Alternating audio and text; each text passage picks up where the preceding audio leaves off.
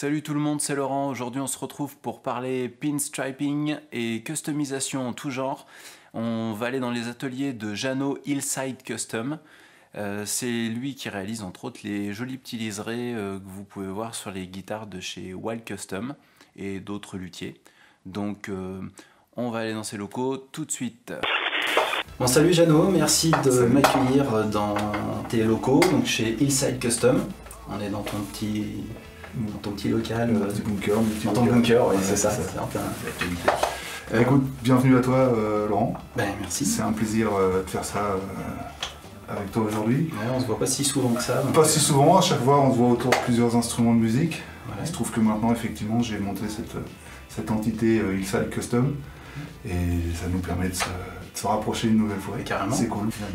Est-ce que tu peux du coup nous parler un petit peu de, de l'activité que tu as avec euh, Tout à fait. Hillside Custom Jano Custom, donc c'est une activité que j'ai depuis très très très longtemps. Euh, Hillside Custom, c'est une entité qui existe que depuis deux ans maintenant. Euh, moi, je suis peintre en lettres et peintre en décor à l'origine. Donc, j'ai pu faire euh, euh, voilà, de la peinture, de la déco, des choses comme ça, un petit peu dans, tout- dans tous les domaines. Et puis, à un moment donné de ma vie, ça s'est un petit peu orienté vers le custom. Voiture, moto, véhicules de collection, des choses un peu comme ça. La custom culture, quoi. Et moi, je suis musicien, ça fait 30 ans que je fais de la musique, je suis amoureux des instruments de musique, j'en bricole depuis toujours, etc., etc. Puis je me suis dit, bah, tiens, je vais dévoyer une partie de ce savoir-faire euh, au, profit de, de- de ce que j'aime, c'est-à-dire la guitare, les musiques, tout ça. Et euh, j'ai commencé à proposer ce genre de, de petites choses, des prestations, comme euh, ce qu'on appelle le pinstriping, par exemple, de déco, comme ça, qu'on fait Ouais. au pinceau sur les instruments de musique. Et euh, j'ai eu la chance de rencontrer deux trois personnes qui euh, ont trouvé ça super chouette, à qui ça a plu.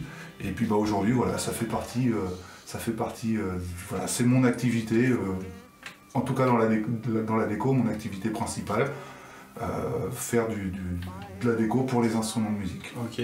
Et du coup, tu cette déco, tu l'as fait pour des particuliers? Tu réserves ça au- à des boîtes comme euh, Well Custom avec qui tu bosses euh, Alors effectivement, je bosse très souvent pour Wild Custom. En fait, il y a deux démarches, vraiment deux démarches. Il y a une démarche euh, globale qui est de dire, moi, qu'est-ce que je suis capable de faire aujourd'hui? Donc ça veut dire que je suis capable de prendre un instrument de musique complet, de lui faire un décapage, une préparation, upgrader l'instrument de musique, c'est-à-dire venir lui mettre des micros, changer l'électronique, travailler sur euh, la, la qualité de la, la- la- Ouais. du toucher d'un manche et des choses comme ça. Et ça, je vais le proposer effectivement à du particulier, donc on va plutôt être sur du one-shot. C'est-à-dire quelqu'un qui vient me voir en disant Ah, j'adore la culture comme ci, comme ça, je fais aussi des pin-ups, je fais des choses comme ça, je vous montrerai plus tard. Mais, euh, et du coup, euh, proposer ça en one-shot. Puis après, il y a euh, Julien Roure, qui est le master builder de chez White Custom. On s'est rencontrés il y a à peu près deux ans. On a bien, bien accroché ensemble sur l'état d'esprit dans lequel travailler, ce côté un peu américain, mais avec des instruments qui sont à chaque fois, euh, euh, à chaque fois, comment dire, avec leur singularité. Ouais. Et puis lui, il avait très envie de mettre un peu de pinstriping et des choses comme ça sur ses, sur ses instruments de musique. Et là, pour le coup, avec, euh, avec cette firme, la Wild Custom, eh ben, je travaille plus en one shot. C'est-à-dire qu'on a travaillé ensemble un graphisme, une façon de faire le trait, une façon de faire le dessin qui soit identifiable chez Wild Custom. Donc je vais pas réutiliser mon trait ou ma façon de faire ce dessin-là sur une guitare. Si tu me proposais ta Les Paul à, à pinstriper, par exemple, j'utiliserais pas cette, cette manière de faire. Donc quand je travaille pour des luthiers, il y a un autre luthier avec qui je bosse de temps en temps qui s'appelle Sébastien Gavet. Euh, bah, lui, je lui ai fait un autre dessin, un autre type de dessin pour mettre sur ses instruments de musique. Il y a Marine Guitare aussi euh, qui, qui m'a demandé de faire des dessins. On est en train de travailler à l'élaboration de, de déco qu'on va faire sur ces, euh, sur ces guitares. Ok. Il y a une Wild Custom que tu as là dans le coin. On l'essaiera peut-être tout à l'heure et, et puis on verra des, des images un peu, un peu plus près. On retrouve pas mal de tes modèles chez Wild Custom euh, qui étaient exposés sur. euh, euh, comment ça s'appelle? Dans les salons, Euh, le ouais, Show, salon, oui, le Show, Summit. euh, le Summit. le Summit, euh, alors c'est ce qui- est très très très chouette et puis euh, très flatteur et euh, enfin voilà qui fait beaucoup de bien euh, avec euh, avec ses instruments et avec cette firme avec euh, avec Wild Custom, c'est qu'effectivement ils ont des instruments de musique comme je le disais qui sont singuliers. Ils les emmènent sur des salons nationaux, internationaux euh, comme le NAM Show euh, et puis euh, et puis le Summit. Alors le NAM Show, c'est vrai que moi, j'ai 50 ans, j'étais abonné à Guitarist Ma- Magazine quand j'avais 20 ans et je regardais déjà ce qui se passait au NAM Show. Et aujourd'hui, j'ai des guitares que j'ai décorées qui partent avec une firme française qui fabrique des trucs super chouettes avec un look pas possible. Et j'ai ça au NAM Show.